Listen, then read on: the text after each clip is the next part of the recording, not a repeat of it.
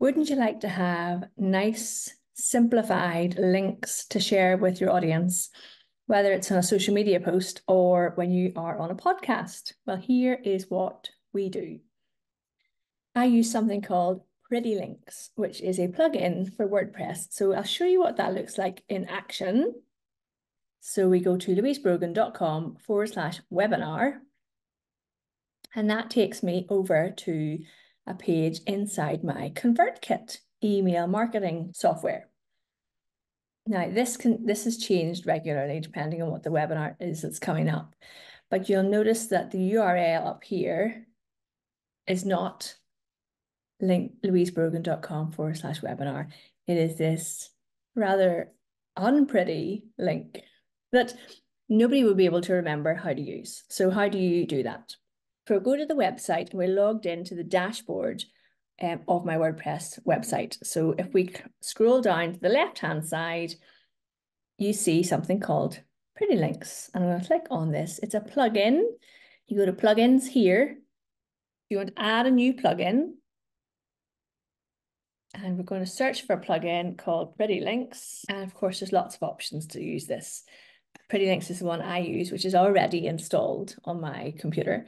You will see it is here. And you'll also see I'm not even using the more expensive option. I'm using the free option.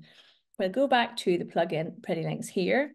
And this is what we do. So if you want to create a new one, you click on Add New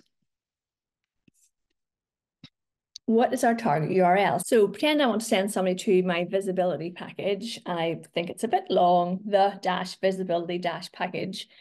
And I'll go back to the pretty links screen and I'll say, this is my target URL, so I want to send people to, and I'm going to delete this and I'm going to say VP, video package.